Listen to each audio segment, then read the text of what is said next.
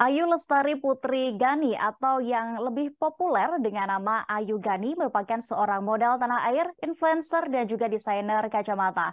Sosok Ayu Gani dikenal setelah memenangkan Asia's Next Top Model musim ketiga tahun 2015.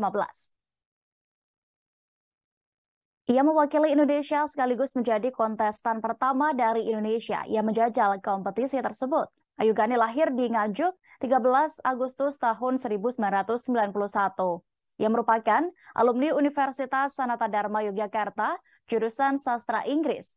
Ayu Gani juga menerima beasiswa dari Cincinnati, Ohio selama satu tahun karena bakatnya di bidang musik.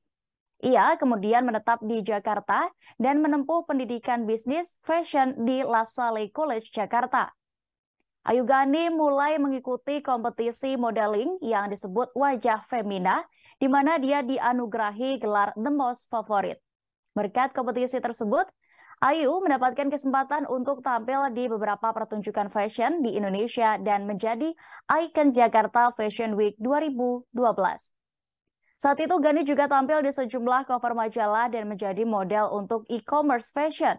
Pada tahun 2015, Ayu Gani melangkah sebagai salah satu kontestan asal Indonesia yang berlaga di Asia's Next Top Model musim ketiga. Selain sebagai model tanah air, ia juga dikenal sebagai influencer serta desainer kacamata. Dalam sebuah wawancara, Ayu Gani mengaku tidak pernah bermimpi untuk menjadi seorang model. Awalnya, ibunya membujuk Ayu Gani untuk mengikuti kontes model wajah femina pada tahun 2011. Ayu yang kini berusia 31 tahun ini sempat tidak percaya diri menjadi model. Ia merasa tomboy dan tidak feminim, bahkan tidak pernah memakai kosmetik, tidak mengetahui apa itu fashion, dan tidak pernah memakai sepatu hak tinggi. Ayu Gani pun justru dibuat heran ketika terpilih sebagai the most favorite wajah femina tahun 2011 lalu. Dari sanalah, Ayu Gandhi yang lahir di Nganjuk, Jawa Timur ini mulai sibuk di dunia modeling hingga memulai debutnya di Jakarta Fashion Week hingga kancah internasional. Terima kasih sudah nonton. Jangan lupa like, subscribe, dan share ya.